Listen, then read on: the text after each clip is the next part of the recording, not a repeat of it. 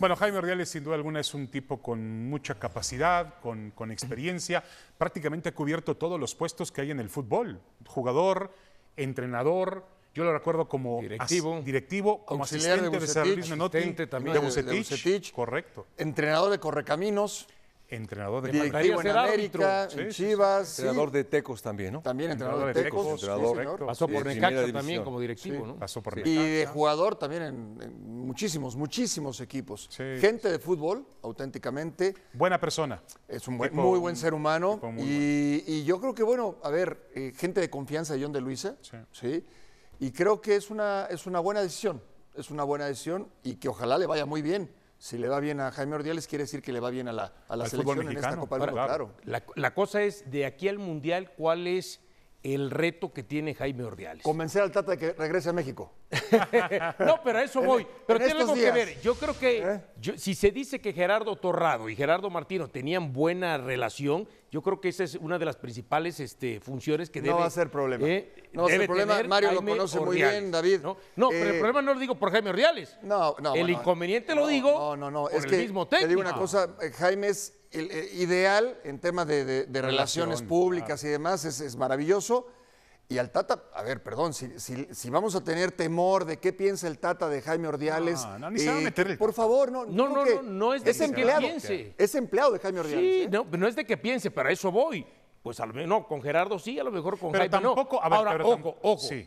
Ojo nada más. Aquella gente que piense que Jaime va a llegar para imponer, no, no, no, tampoco es así. Eso también lo escuchaste por la tarde, Dionisio. ¿Eh? ¿Qué Tampoco pasó? es ¿Qué está así. pasando, Oye, dónde fuiste? ¿Con dónde quién te juntas? Imagínate. No, no, no, no, no. ¿Con quién te juntas? Pero tampoco es así. A mí la única duda que sí, sí me salta por lo último que pasó con Jaime es, este, entiendo que en su momento él dijo para que de pronto no hacer, eh, eh, no echarle más leña al fuego. Lo que pasó con Cruz Azul, el que de pronto no pudiera meterse al vestidor, no estar en la cancha, Bueno, pero esa fue una situación distinta. Eh, no, no, pero está bien, pero- no es muy característica de su carrera. No, hombre. pero, pero al final tú eres, como dice Paco, eres el jefe de Pero a lo mejor Reynoso, ese eres a lo el mejor director deportivo. la personalidad de Reynoso no ayudó ahí. A lo mejor no Bueno, ayudó la personalidad de Esa es la Reynoso. única Bueno. cuestión que a mí me pone bajo el signo de interrogación. No lo Es puede- pero no tema, puedes sé si marcar su que ver carrera- Con personalidad, pero no puedes con marcar su carrera por un hecho aislado. No, no, no, será aislado, pero acaba de ser. Y en un equipo importante. Mira, donde él se fue, de donde él se Y fue, acuérdate dejó que en la las, colec- en la dejó selección las puertas se abiertas. habas. Bueno, está bien, pero es amigo de Luisa. De Luisa ya trabajó con él en la América, lo conoce. ¿Quién Está lo conoce bien a Jaime Ordiales? preparadísimo en todo, en todo. Es decir, jugador, entrenador, directivo, Capitán secretario la técnico, capitán, mundialista. ¿Qué más queremos? Aparte, bueno para legar, no sabes cómo es para legar, alega todo. Eh, tremendo ser humano, gran persona. Ahora, yo espero que también hay, hay que ver cómo Jaime reestructura, Paco Gabriel, las selecciones mexicanas, no solamente es la mayor. Sí. Tiene que empezar a trabajar de cero prácticamente Claro. con la selección sub-20, la selección olímpica, la selección sub-17, Claro. buscar entrenadores. Sub- 15. Es que en ese sentido, lo, lo- lo próximo y más importante es la Copa del Mundo en, en Qatar. Pero él ya tiene que estar planeando también una reestructuración o un... A ver, yo creo que las fuerzas básicas en México se ha, se ha invertido mucho dinero en los clubes, por ejemplo, en, eh, en- en la liga, en sub 13, sub 15, 17, sub 20. Han habido muy buenos resultados. En este proceso han habido quizás los peores resultados, que no- lo, lo peor que nos pudimos haber imaginado. Bueno, de eso se va a encargar Jaime, que también ha trabajado en el tema de fuerzas básicas. Y creo que tendrá que, y dependerá de a quién pone en cada uno de los puestos. Creo que eh, queda muy claro que cuando pones al que más conoces sin que sea el mejor, las cosas no funcionan. Es que es el que tengo más confianza en él, es que lo conozco de mucho tiempo atrás, pero no necesariamente es el mejor. Y creo que es fundamental en esa reestructuración que Jaime ponga a las personas más capaces en cada uno de los puestos. Correcto. Y el tema de, a ver, la independencia o el asunto de que mencionaba Dionisio, de que realmente se va a tomar decisiones. No, pero Jaime es un No, pero es no operativo. tomar decisiones. Jaime es un supervisor. O No, sea, de acuerdo, a ver, de acuerdo. esa es la verdad. ese puesto no va a venir a imponer nada. No, no, Va a no. sugerir quizás al próximo entrenador cuando se vaya el Tata Martino y otras cosas. Él va a operar, pero termina siendo un supervisor. En ese puesto eres un supervisor. Esa es la verdad. No, pero cuando yo hablo de imponer es que de pronto, no, Tata, es que tienes que estar acá. O sea, tienes que estar acá porque tienes que estar acá. Que está bien que se lo exija, que tiene que estar acá. Ahora, Dionisio, Pero yo no a lo mejor yo no iría- yo no ahí iría hay que ver el manejo en el tema Yo de no iría abajo. lo toma. el- la selección mexicana, el control de la selección mexicana la ha tenido el mismo grupo siempre en el fútbol mexicano. Entonces, si lo ha tenido, ¿para qué nombran ver, directores deportivos? Si al final de cuentas, no, porque lo- ya sé a dónde escúchame lo- vas. No, es que ya sé a dónde vas. Los dueños, así mismo como, como ha crecido la democracia en el fútbol, un poco a nivel de clubes, hoy tienen más participación, más voces, hay otros directivos, empresas metidas, ya no es como antes, pero a nivel selecciones sigue siendo manejada por Televisa, que yo no tengo absolutamente nada contra ellos. Lo pueden manejar bien, mal o regular, pero quizá ya es tiempo de que se abran un poco al control deportivo. Yo sugerí el otro día, ¿por, por qué no llamar a Grupo Pachuca y Grupo Orlegui y decirles, señores, busquemos una nueva fórmula de trabajo? Ustedes han trabajado muy bien en el campo. eh, eh, Jesús Martínez no le interesa ser el presidente de la Federación Mexicana. No, no, no, pero no eso, pero manejar a las selecciones. ¿Alguna vez, Paco, tú te debes acordar, y el profe Carrillo también, Pumas tuvo el control de la selección mexicana, con el ingeniero Aguilar Álvarez, que en paz descanse, Y con Miguel Mejía Barón como y entrenador. con Bora Milutinovic, Sí. y aquel grupo. El- todo el Mario grupo. Velarde. Pero Aguilar Álvarez era la persona clave, que en paz descanse. Sí, y, y gente de fútbol.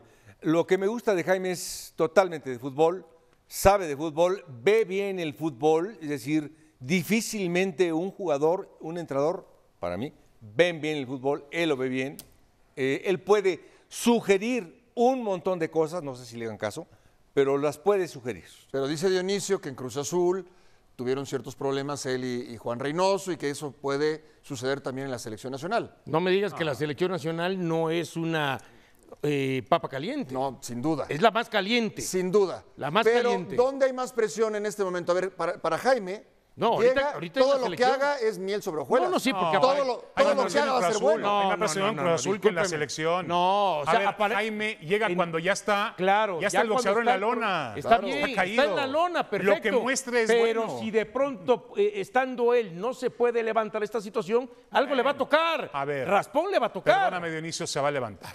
Yo creo que México se va a levantar y si él toma decisiones interesantes, el fútbol mexicano puede mejorar el nivel en selecciones, donde ha tenido resultados, ¿eh? Sub-17, campeones olímpicos, mundiales juveniles, México. No, es, es decir, esta no es la costumbre del fútbol mexicano, estar como está hoy. Me preocupa con quién te estás juntando, Dionisio. No, Me- y me- a- te, no. veo, te veo No, dubitativo, no, no, no, no. te veo muy que pasa preocupado. es que- Yo lo veo normalito, ¿eh? Lo veo normal. Lo Lo que pasa es. que uno que sí está supuesto. acostumbrado a cuestionar y no todo ver color de rosa, ¿eh? Entonces, no, está muy bien que cuestiones. Ahora, marcar a Jaime Ordiales por lo que pasó en el incidente con Reynoso, A ver, es un antecedente, estoy diciendo, importante. Y si en Cruz Azul, ¿Cuál va a ser el primer donde es menos cuestionamiento? pesado que lo que pasa en la selección. A ver, Dionisio, ¿cuál va a ser el primer cuestionamiento para Jaime? ¿Hasta cuándo?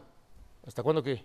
¿Hasta cuándo vamos a cuestionar verdaderamente a Jaime Ordiales? ¿Hasta cuándo? No, igual hasta, la el Copa del Mundial, Mundo. hasta el Mundial, Entonces- también. entonces ahora, pero, no pero bueno, pero hay que ver si de aquí al Mundial, por eso te digo, cuál es su principal reto, lo que decíamos, de Rivales, tener buena relación primero con el eh, técnico. No, es que, todo, es que logística. todo eso ya está, Paco. Por eso, entonces, ¿de todo eso ya está, eso ya está. Yo por eso te digo, pasa más por el tema de lo que tenga que ver su relación con Martino y cómo puede hacer clic, a ver. cómo pero- va a ser pero química. Yo creo, con todo respeto. Todo que- eso, lo demás ya está, ya sabemos quiénes son los que- rivales, yo creo- ya sabemos cuál es la logística, todo eso se va a ejecutar de acuerdo a lo que ya se Jaime- venía trabajando. Yo creo que Jaime Ordiales no va a tener absolutamente ninguna injerencia directa No, nada. en- de aquí al Mundial. No, hombre, ya está. pero es más, Claro. podía haber dicho John de Luisa, señores, nos quedamos con el puesto Claro, vacante claro. y a partir del después del Mundial Por supuesto. nombramos a Jaime Ordiales Claro, o lo que tú quieras. No va a pasar nada, Claro. nada. El control de la selección lo tiene Martino y su grupo. Así es. Y con ellos vamos a ganar, vamos a perder o vamos a triunfar o O a fracasar, empatar. Dionisio.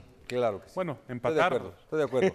Pero difícilmente en ese puesto eh, vas a decidir algo. No, no. Difícilmente.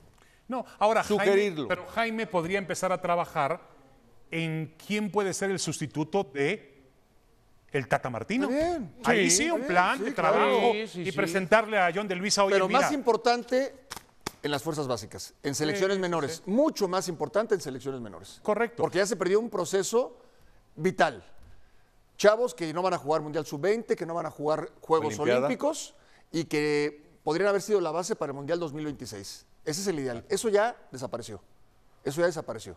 Yo creo que ahí es donde tiene que trabajar más Jaime Ordiales. Lo demás, que ni lo toque. Porque además no le van a hacer caso. No, no, no. En lo, en lo más mínimo. Ya está todo, como bien dice Dionisio, encaminado para la Copa del Mundo. Hasta la Copa del Mundo, quizás se le cuestione a, a Jaime Ordiales, pero ¿en qué se le puede cuestionar a No, Jaime? nada, nada. Nada, es, es sobre Y- el Tata Y Martino. no ya. olviden que el fútbol mexicano se está preparando para el 2026. Es realmente la meta que tiene John de Luisa de hacer el Mundial en casa. Y bueno, va a tener una responsabilidad muy importante Jaime Ordiales, insisto, en elegir al siguiente entrenador, elegir al, al siguiente entrenador de la sub-20, al siguiente entrenador de la selección olímpica.